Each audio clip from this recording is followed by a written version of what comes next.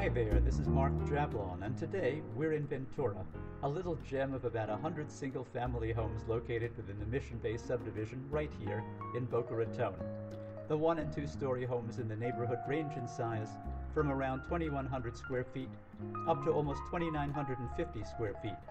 All have at least three bedrooms, and most, though not all, have at least two and a half baths, and typically have at least a two car garage. Many of the homes have their own pools, but there's also a community pool in the neighborhood. In addition to the card operated gate, services covered by the Ventura Homeowners Association include periodic painting of the outside of your house, along with front lawn care. Ventura is located within the highly rated Boca Raton School District.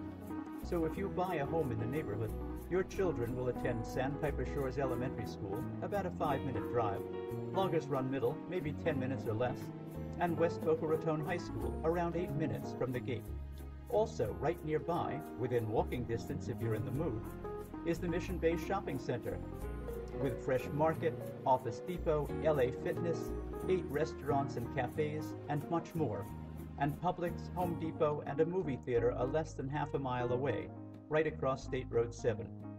Florida's Turnpike is less than a 10 minute drive, so it's easy to get from Ventura in Mission Bay to wherever you want to go.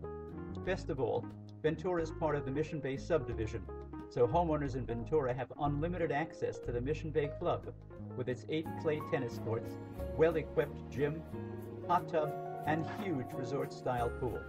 If you're thinking about buying a home in Boca Raton, please call and ask me about Ventura, the little gem of a community in Mission Bay.